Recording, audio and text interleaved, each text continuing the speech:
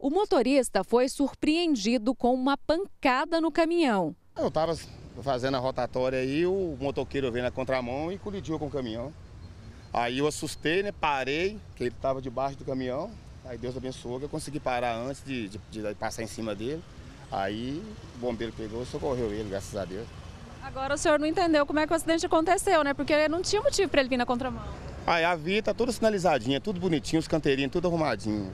É a imprudência e a pressa, né, que os, que os motoqueiros, que o ser humano tem, que vai quase que morre por causa disso.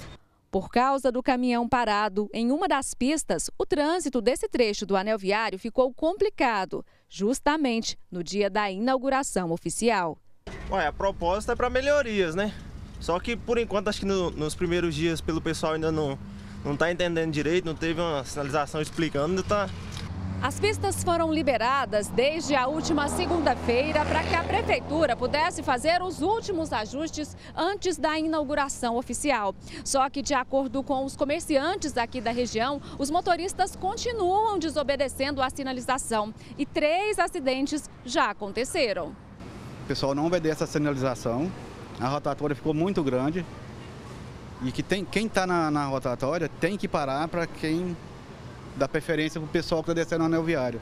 Se continuar assim, é todo dia vai ter um acidente. A rotatória estendida ela vai dar uma melhor mobilidade para os caminhões, ônibus e principalmente aqueles que são bitrem fazerem o raio de giro. Então, por isso da, da, da necessidade de ser uma rotatória mais estendida. Se fosse uma rotatória menor, teria dificuldade para os veículos de grande porte fazerem o retorno.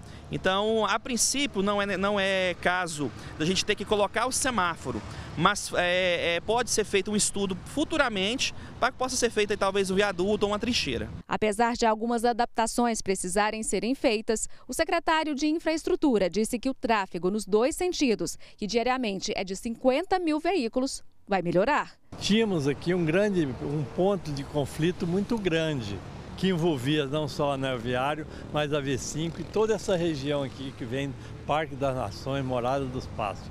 Então, com essas novas linhas de ônibus que estão sendo implantadas pelo CMTC, nós temos necessidade de realmente melhorar esse fluxo. E essas obras realizadas aqui pela Prefeitura Municipal realmente vai dar condições para um bom tráfego aqui nessa região.